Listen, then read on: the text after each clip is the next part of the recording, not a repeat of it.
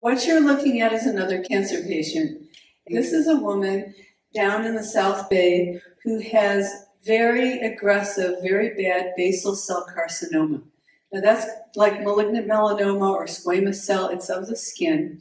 And this woman has had three bouts. She had a bout on her face, and literally, if you saw her up close, you can see all the scars where the doctors operated on her, and you can see all the surgical scars, and, and they're red, and they're inflamed and irritated looking.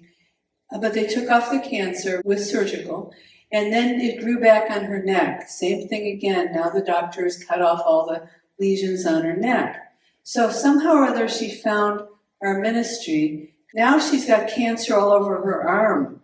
Now it's on the left arm and it's over the whole arm. It looks horrible. It's elevated and red and irritated and irregular shaped. It's in tons of these cancerous lesions, very unpleasant looking, and they're very aggressive.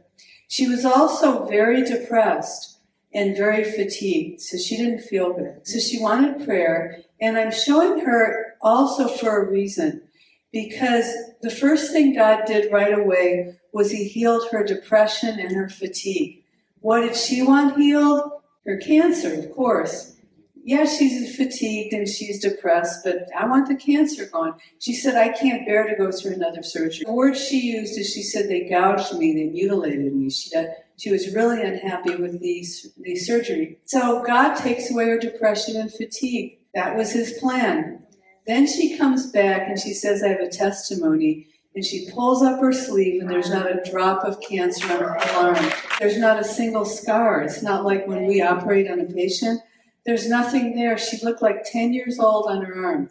It looked like she'd gone to a spa for months and gotten all these beautiful skin treatments because it was smooth and spotless and clear and beautiful looking. Then she pulls up her other sleeve and she starts showing me her wrinkles and her spots. The, the arm that had cancer that got healed looks way better than my other arm. She said, Look at this. She said, God made my arm look really good on the cancer side. And that's what happened. I bring her up not only because she had this incredible miracle, he went way beyond anything. I didn't pray that she have, you know, perfect looking skin that looks like spa treatments. That's what God did. You know, he, he will take us even beyond what we think we can pray for. That's amazing. But he also has his own plan.